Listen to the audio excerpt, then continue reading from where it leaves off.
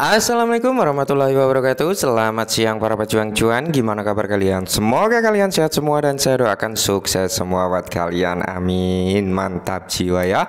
Dan jangan lupa ya kawan tetap secangkir kopi. Harus selalu ada buat menemani siang hari ini. Teman-teman melihat rekondisi daripada market cryptocurrency. Kalau kita lihat bersama untuk arah market kali ini sedang dikocok-kocok ya. Karena naik turun naik turun keadaan market saat ini dan tentunya fooder-fooder yang berkeliaran di luar sana juga masih sangat strong ya teman-teman untuk berusaha menjatuhkan mata aset digital cryptocurrency tentunya. Oke, teman-teman ya. Di kesempatan siang hari ini ada sedikit informasi yang cukup uh, menarik datang dari Shiba Inu walaupun harganya tidak menarik ya untuk saat ini. Oke.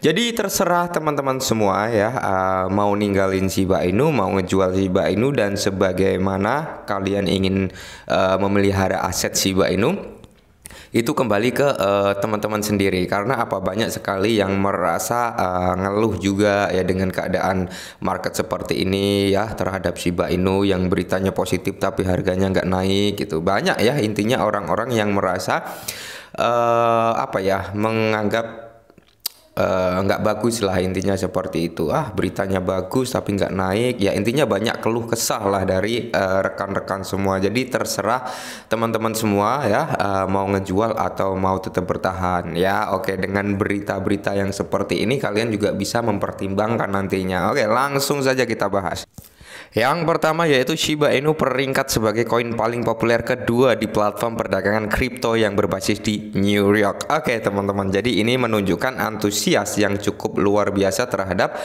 orang-orang uh, yang memperjualbelikan Shiba Inu, orang-orang yang melakukan pembelian Shiba Inu, ya orang-orang juga yang melakukan trading Shiba Inu ya.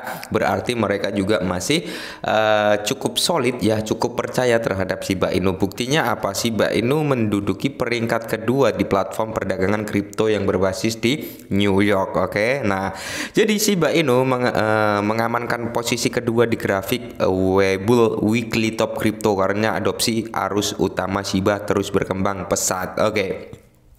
Adopsi Shiba Inu ya teman-teman uh, menurut artikel ini ber arus sangat-sangat uh, signifikan ya berkembang pesat lah. Intinya seperti itu adopsi perihal Shiba Inu pembelian perihal Shiba Inu ya kan uh, holder-holder daripada Shiba Inu juga meningkat yang cukup drastis juga gitu menandakan apa?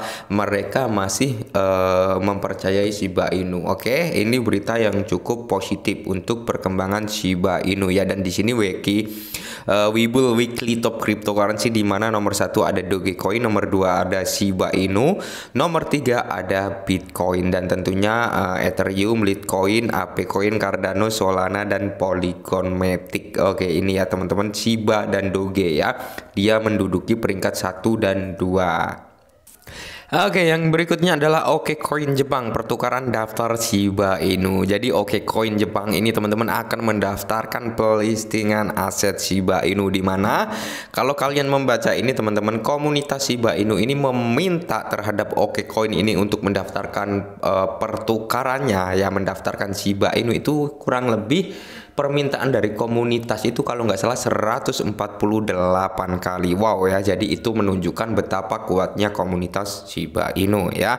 Eh, cabang-cabang dari perusahaan Oke Group baru-baru ini mengisyaratkan untuk menampung koin mem setelah uh, permohonan yang terus-menerus dari pendukung Shiba Inu. Oke, chain Jepang pertukaran cryptocurrency terkemuka di Jepang dan cabang-cabang dari perusahaan teknologi blockchain Oke Group baru-baru ini menyebutkan daftar Shiba Inu karena uh, mengakui permintaannya saat petisi yang kikih dari pendukung Shiba individu tersebut selama 140 hari menggemakan keinginan komunitas Shiba yang lebih luas untuk melihat SHIB terdaftar di bursa. Sorry ya bukan 148 kali berarti 148 hari ini teman-teman ya gemaan daripada army atau komunitas Shiba Inu ini untuk meminta Oke Coin Jepang ini teman-teman mendaftarkan uh, listing Shiba Inu dan di sini pun ditanggapi dengan akun Twitter Oke okay Coin ya teman-teman. Bahwasanya DAI 100 ya. Intinya congratulations from Shiba Army SHIB token ya. Kemungkinan besar ya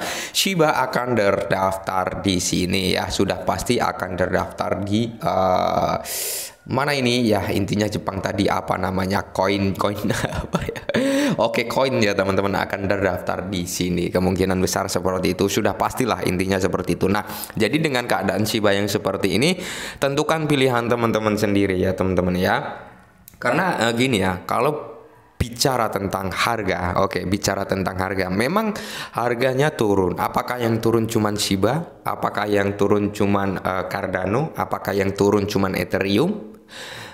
Uh, kalau kalian berpikir seperti itu, uh, bisa dikatakan itu adalah salah besar. Kalian lihatlah semua aset cryptocurrency ya, mereka mengalami penurunan berapa persen dari all time high-nya ya, rata-rata berapa persen gitu teman-teman. Banyak Bitcoin 70 persen ya, Ethereum berapa persen bisa kalian track di TradingView atau di mana Coin Market Cap ya, kalian bisa cek di situ ya. Shiba Inu berapa persen dan masih banyak aset lainnya. Semua mengalami penurunan teman-teman bukan hanya Shiba Inu ya. Jadi kita harus berpikir rasional juga bahwasanya oh iya ternyata aset lainnya turun juga ya. Dan kita juga perlu uh, berpikir uh, bahwasanya Shiba Inu dari harga terendahnya ya harga terendah Shiba Inu sampai ke all time high Shiba Inu. Apakah Shiba Inu menyentuh di harga terendahnya lagi? Kan enggak ya. Shiba Inu enggak enggak menyentuh harga terendahnya sebelum dia menyentuh all time high ya. Dia enggak menyentuh ke harga terendahnya lagi. Berarti apa? Banyak orang ya yang uh, menginginkan Shiba Inu naik. Buktinya dia enggak turun lebih jauh lagi dari ini gitu teman-teman ya kita harus belajar juga gitu ya. Jadi kalau menurut saya pribadi Bang Shiba Inu uh, bisa ke satu rupiah lagi nggak? Bisa ke dua rupiah nggak? Bisa ke empat rupiah, sepuluh rupiah, one centrim? Dan jawaban dari saya ya teman-teman, sangat-sangat yakin bisa ya sangat-sangat yakin bisa kenapa kalian bisa berbicara ya kita lihat uh, kegunaan daripada Shiba Inu ya adopsi yang di uh, apa ya yang mengikat Shiba Inu. Itu banyak sekali teman-teman. Ya bisa buat beli ini itu di dunia nyata. Itu suatu hal yang cukup luar biasa. Karena apa? Nggak semua aset cryptocurrency bisa jadi seperti itu teman-teman ya. Nggak bisa jadi sebagai alat metode pembayaran. Nggak semua kripto bisa seperti itu. Apalagi sekelas token mem Shiba Inu ya.